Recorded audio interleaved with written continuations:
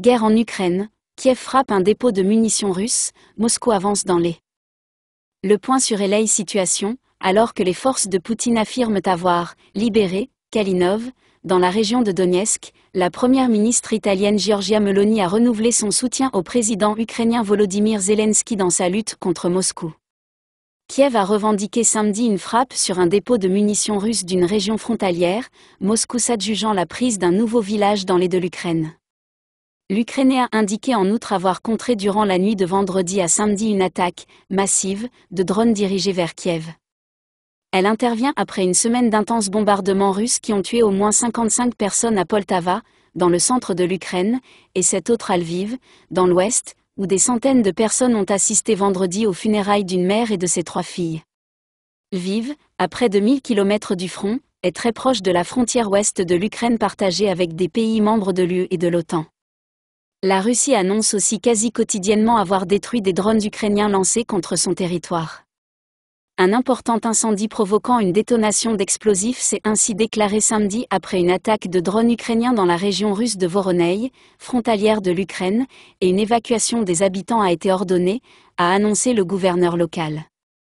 Les systèmes russes de défense antiaérienne ont détecté et neutralisé un drone, tôt le matin, a écrit le gouverneur Alexandre Goussev sur Telegram.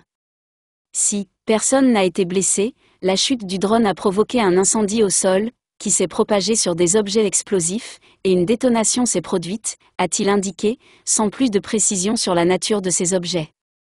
En raison de l'incendie, il a été décidé d'évacuer les habitants d'un village vers des localités voisines, selon la même source. Selon des chaînes télégrammes russes, l'incendie se serait déclaré dans un dépôt de munitions. Les services de sécurité ukrainiens, SBU, ont ensuite affirmé avoir bien frappé un dépôt de munitions.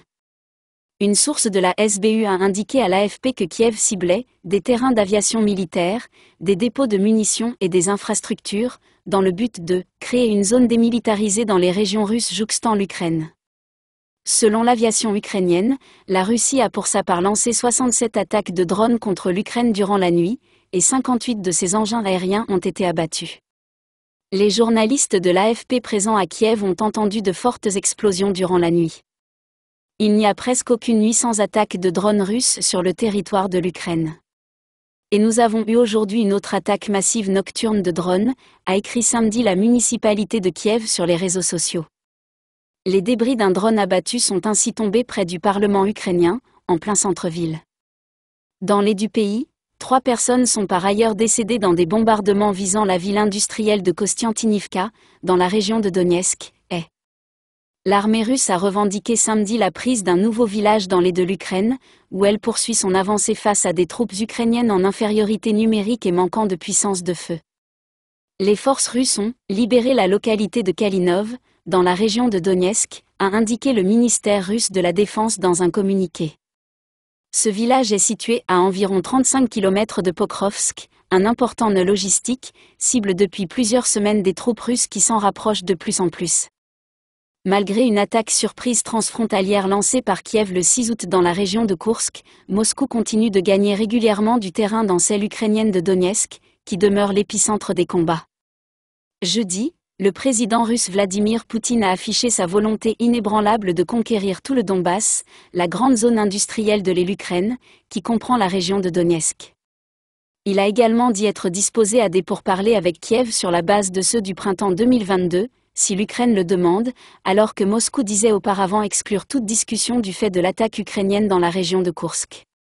Sur le front diplomatique, le président ukrainien Volodymyr Zelensky a rencontré samedi la première ministre italienne Giorgia Meloni, en marge d'un forum économique organisé sur les rives du lac italien de Côme.